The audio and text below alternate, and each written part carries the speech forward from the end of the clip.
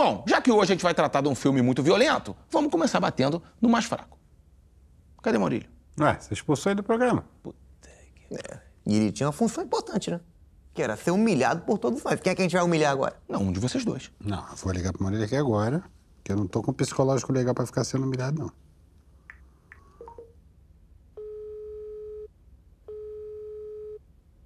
Maurílio dos Anjos, transporte, crítica cinematográfica e bolo de pote, bom dia. Maurílio? Simone sabe que você tá dormindo no estúdio? Eu só venho aqui pra usar o Wi-Fi, O Renan. seu Bernardo queria Sharpei aqui, Maurílio! Bora, vem pra cá logo, vem! Regata! Bota o microfone nele aqui. Você sabia, Julinho, que a indústria da adoção de animais praticamente destruiu ah, o comércio de Sharpei? Sabia não. Os Sharpeis estão abandonados. Abandonados. E olha o que eu tô dizendo, escreve isso. O Sharpei vai se tornar a nova praga urbana no nosso país. Vão ser igual pombos aí, tomando praças, praias, igual pombos enrugados. Vai ser um inferno.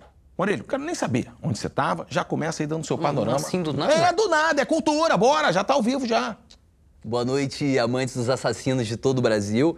Desculpem aí o meu atraso, mas é na nossa ausência que a excelência do nosso trabalho é reconhecida. né? Dá o panorama, Maurílio. A saga John Wick ela foi criada para preencher o buraco de bala que se abriu no peito de Hollywood com a morte do ator e assassino Charles Bronson.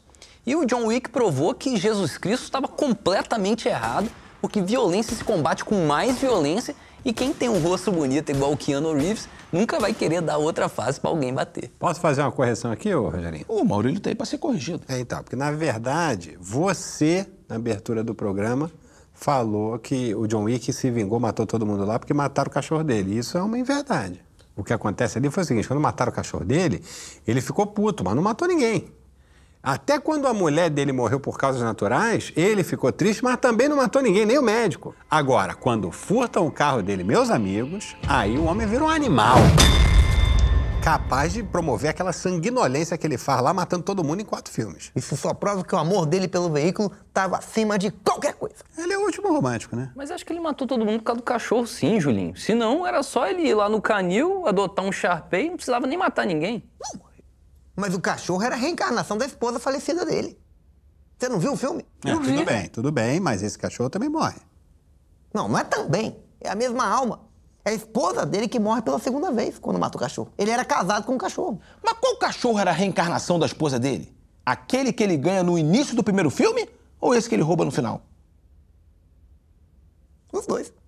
Mas então era melhor a esposa dele ter reencarnado no carro.